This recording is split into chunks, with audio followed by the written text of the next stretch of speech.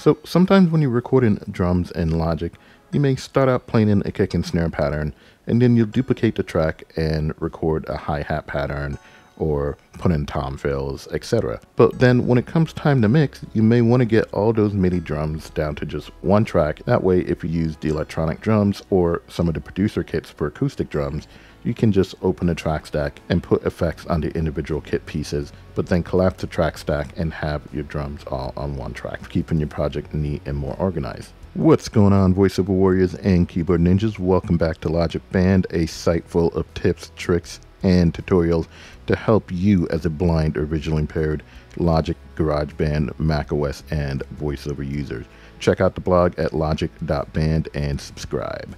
So here we are in Logic, and in this particular instance, we have two drum tracks. I have an instance of East Bay. Track 1 East Bay, group. Track 2 East Bay, group. And another instance of East Bay on track 2. Track 1 East Bay, group. And I'll solo this. So Toggle track channels. 1 is just my kick and snare Toggle pattern. channel, track 2 East Bay, group. So on track 2, if I solo this, Toggle channels, you see I just have some cymbal action going on on that track. All right, so now if I Toggle unsolo these, there you hear the hi-hats and the kick and snare pattern together. Let's say I want to combine these two tracks into one. Well, really what we're going to have to end up doing is combining both of these regions into one. And the way we do that, I prefer to work in the event list. So that's the way I'm going to demonstrate today. The way we do that is we select all the events, we copy them, we go over to the other track, open up the event list, and we can paste all the events in there. All right, so let's take a look at how to do this. But before I do that, just want to remind you to like, share, and subscribe. Let someone know about Logic.band if they want to get up to speed with using Logic with VoiceOver or they're new to the Mac and VoiceOver in general. Also, if you're interested in some one-on-one training, don't forget to check out logic.band slash training. All right, so let's dive into how to do this. Let's move off of track two and back onto it. track 1 East Bay, track 2 East Bay, group. All right, so we got that region on track two selected now. And if you have multiple regions on track two, you can go ahead and join them with Command J first.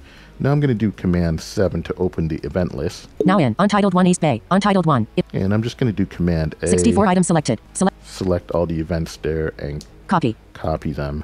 And I'm going to close this with Command W. Tracks, group. All right, so we got all those copied. The next thing you want to do is do Control Home. 5 bars, 1 beat, 2 bars, 1 beat, 1 division, 1 tick.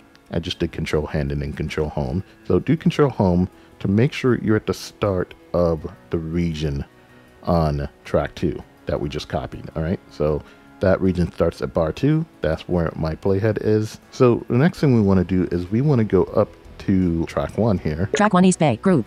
All right. And we want to open up the event list for this track. So I'm going to do command seven. Now in, Untitled 1 East Bay. I'm going to hit VOJ to jump into the table with all the events. In table, column 1. and I'm going to do Command V. to 111, paste. paste. The reason we had to make sure the playhead was where that region started, because when you paste in here, it will start to paste at the playhead. So everything should line up. All right, so I'm going to go ahead and close this with Command W. Tracks, group. Untitled. And now I'm going to go back to track two Tracks, here, group. Tracks, group. Tracks, track, track. In track, tracks, tracks, head. In track, track 2 East Bay. Track 2 East Bay. and I'm going to mute track two. Toggle channel strip mute on. Track 2 East And Bay, now- mute. Track 1 East Bay, group. If I just play track one,